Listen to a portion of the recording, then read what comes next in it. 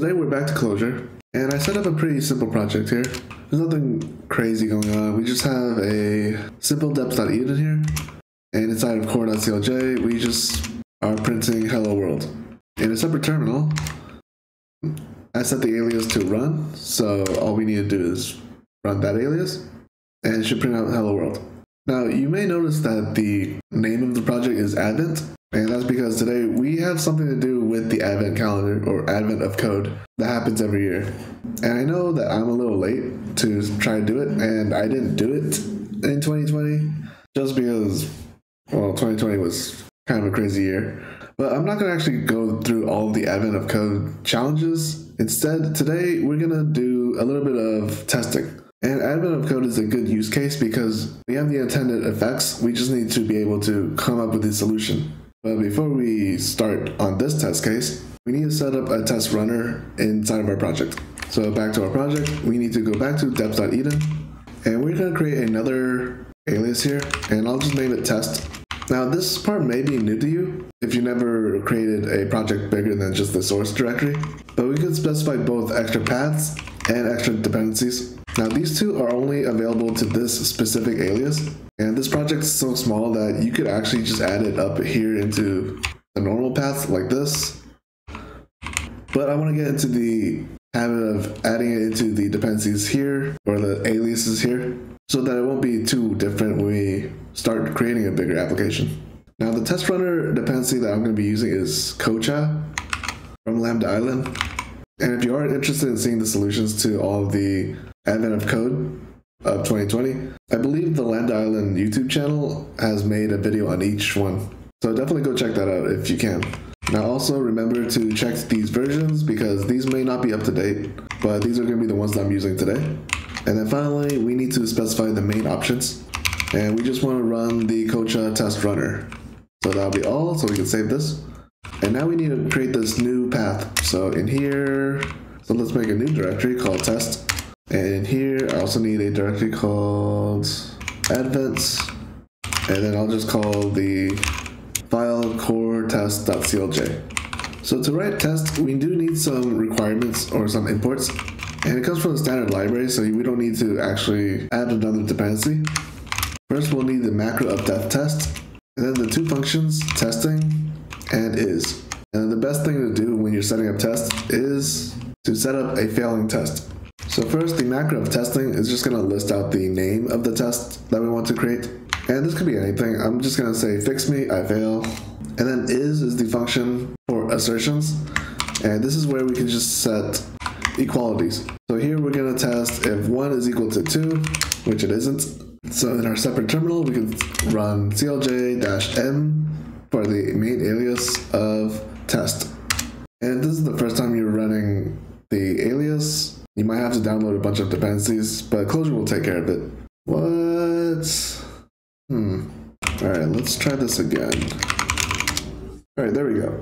So our test is failing, and also to address this error up here is because I had the wrong versions. So originally I had 763, but it was supposed to be 732 and 75. And I think that has to do with the incompatibility of the new Clojure alias syntax of dash M instead of dash A.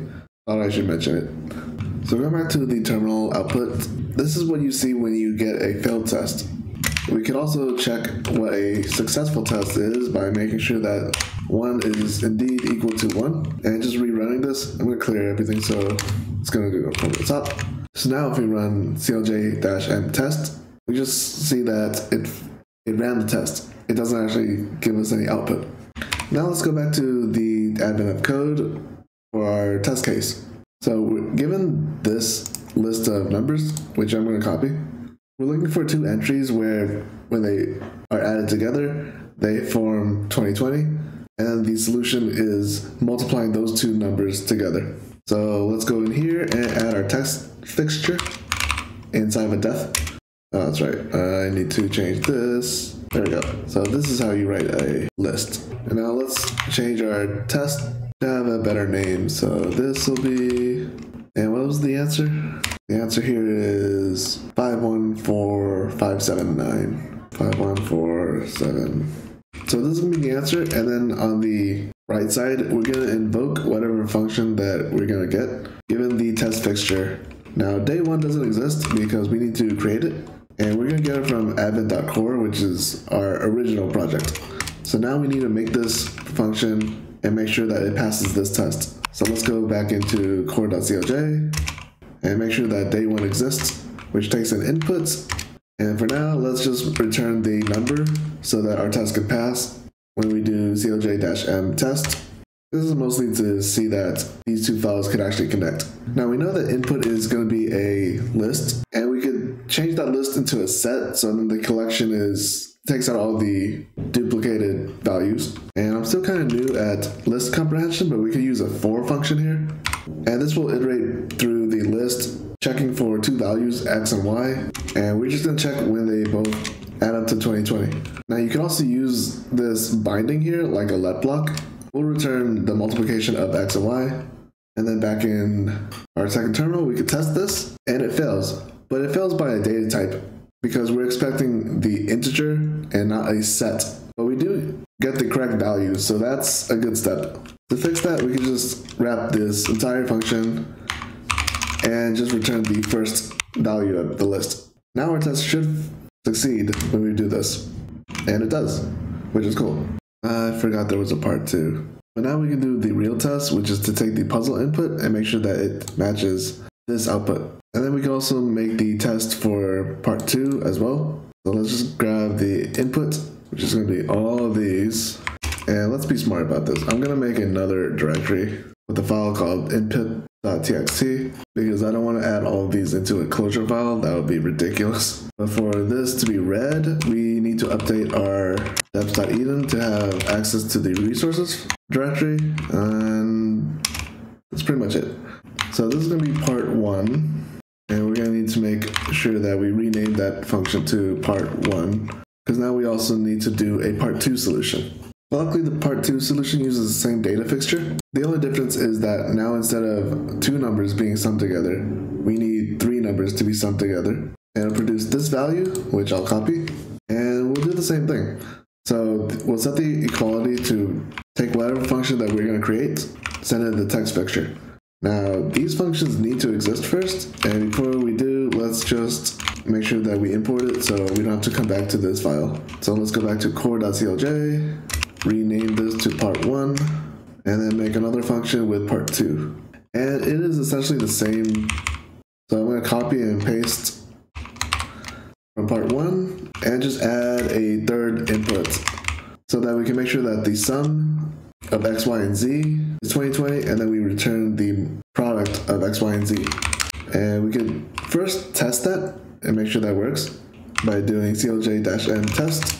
And it failed. Why? Why did it fail? Day one, part two failed. We got nil. What? So no list is being returned? Let's open a nREPL so we can play around with these functions. So let's go in here. Let's connect to the REPL. All right. So I wonder what's happening in here. Let's take this and go in core because maybe we don't have access to test. And I'm just gonna do day one to, to send in the text fixture. Oh, right. Refresh. Evaluates current form. Nil. Why is it nil? Wait a minute. This changed. this changed on me. All right, the test fixture actually changed. So, yeah, they're different. That's sneaky, man. And that means that, so our test should pass now. All right, I forgot. I removed the first function when I was debugging. So this need to be first. And now we know that both these should basically work. Now all we need to do is read in that text file I'm gonna move this main down here. Create a def here called file input. And this is where we can use clojure.java.io to read the resource. And what did I name this? Input.txt. Alright, so let's check what this gives us. Alright, how do I do this again? Evaluate word is a object buffer. Uh, oh, okay. I think I need to do line-seq to this. Yeah, there we go. So we have a list of strings, which is not good. We need to change all this to numbers. So let's wrap this in a map. Uh, it's Java class. All right, so we have to wrap this in an anonymous function. All right, now this is nope, a list of numbers. And then in main, instead of printing hello worlds, we could print the result of day one part one file input as well as day one part one given the file input. And let's also get rid of this comment because I don't want it. And now instead of running test, we can run our main alias, which I believe I named as run. And those two are the answers that we want. So we want 8982. I'm just going to take this so that we can compare it here. So the first one is 898299, which is correct. And then the next one is 143933922, which is also correct. And I've already ran this, so I completed this challenge. But if it's your first time, there will be a little text input where you have to type in your answer. But yeah, that's a little bit of Advent of code and also an introduction to testing in Clojure. I hope you enjoyed this video, and I'll see you all next time.